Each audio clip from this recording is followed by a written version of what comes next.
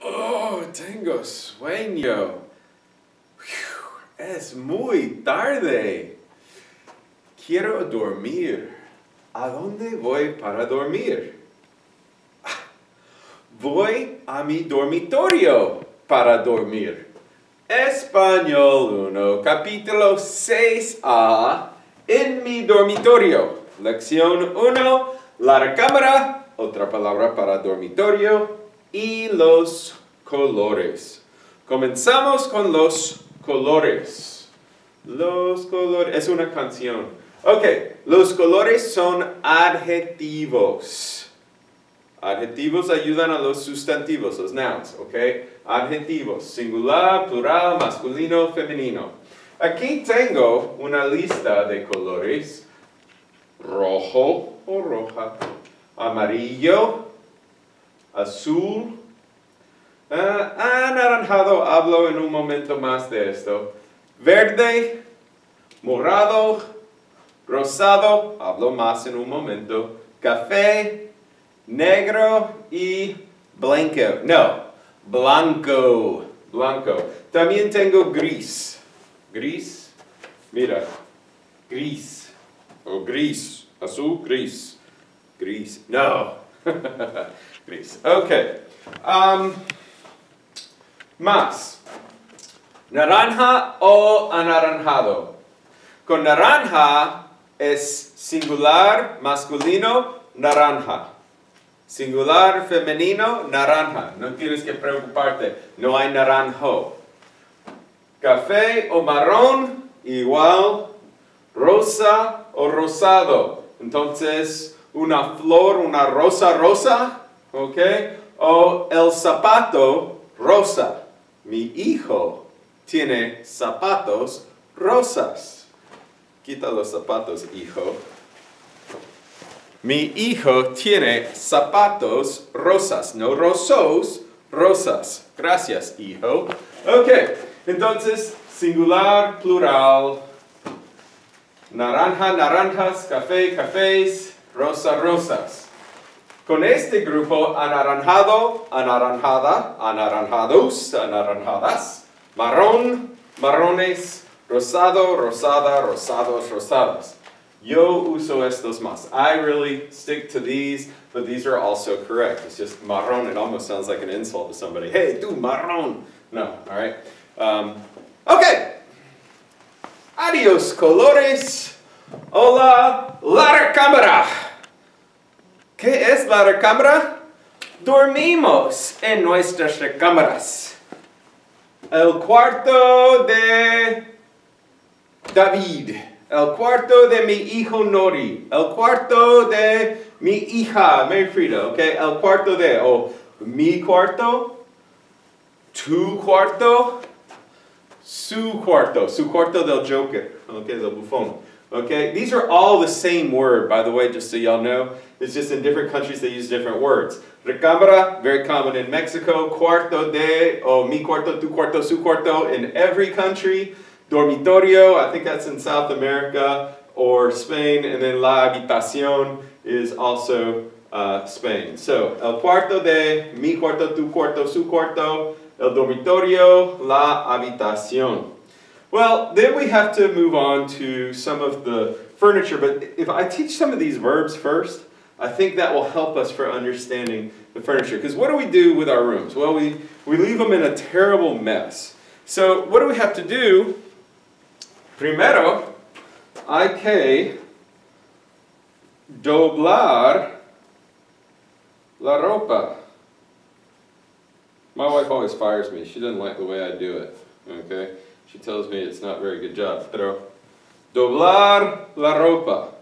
O colgar la ropa. Yo cuelgo, yo cuelgo la camisa. Colgar la ropa. Guardar la ropa. Voy a guardar la ropa. Oh, sacar la ropa. Y dejar la ropa en el piso, dejar. Leave it on the floor, dejar just like dejar anything else. Guardar, sacar, etc. So, demonstrated those awesome verbs, and now we will keep going. So, we're done with this. We're over to this section. Okay, I feel like a weatherman. It's going to be very dirty in the bedroom when you talk about La Comoda, but then it's going to be really neat in the librero where all the books are that you never touch. Okay, anyway, um, los muebles. Here's a word. This word, so each of these lines sets up the vocabulary words that are really I'm trying to teach. So we have el cajon. El cajon goes into la cómoda o el tocador. Same word, la cómoda. Now in some countries, cómoda really means uh, armario, ropero, closet, but we're going to use it the way your book does. So el cajon, la cómoda, el tocador. It needs a cajon. It's usually flat, it looks kind of like a desk, but it's in your bedroom. I think you can figure out, without me translating it, what that means. Then we have el gancho. Well, here we have a gancho, and here we have a camisa in un gancho. Well, el gancho goes to a mueble which has a puerta. La puerta, abro la puerta, can you follow me? Una puerta. Here's a puerta, okay? Uh, cierro la puerta, abro la puerta. Well, when you talk about muebles in la recámara, el gancho, la puerta, you abre la puerta, or maybe it's a sliding one, y guardes la ropa in what? Oh, el armario, el ropero, or a really hard one, el closet. Okay? Now, el closet, that's kind of a Spanglish word, but it's used more and more throughout Latin America. But armario, ropero, okay, think about it. La ropa, el ropero. La ropa va en el ropero. You could also put it in some of the cajones del tocador. And actually, some armarios y roperos have cajones as well. Okay, then we have los estantes. This is an estante. You put libros on the estantes. And what do they form when you create the big mueble? El librero. Think about it. Libro, para los libros, el librero. Although some people put their clothes there too. Okay. La pared. Aquí tengo una pared. ¿Qué va en la pared? Well, el cuadro va en la pared. El cartel, el cartel de Michael Jordan, okay, va en la pared. Y El espejo. Oh, va en la pared. Can you see? El espejo. Do you see yourself? No. okay, so we have la pared. Hope y'all can figure that out. And then finally we have el piso. And el piso, come on, y'all know what the piso is. Here's el piso. Okay, va la cama para dormir.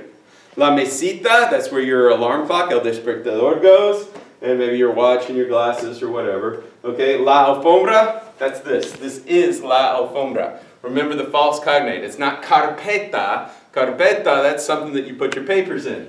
Then we have la alfombra. And then we have la mesa, which would be a little bit bigger than a mesita. And then the last thing that we have to think about when we're talking about la recámara, how do you get the light in if you want natural light? Well, la ventana. And what covers up la ventana? Las cortinas. So, ventana, cortinas, and now I will repeat all of the vocabulary, and I'll do it more slowly this time, because I got really excited because I love this subject. Los muebles, el cajón, la cómoda, look at that accent mark, el tocador, el gancho, la puerta, el armario, el ropero, el closet, Los estantes, or el estante, if you just have one, which would be weird. El librero. La pared. En la pared va el cartel, el espejo, el cuadro. En el piso va la cama, la mesita, la alfombra, that's an A, I'm sorry about my handwriting, la mesa. Alright, mesita, mesa, they should be together. Y la ventana, las cortinas. On this side, back to the primary. La recámara, otras palabras sinónimos para la, la recámara, el cuarto de Max.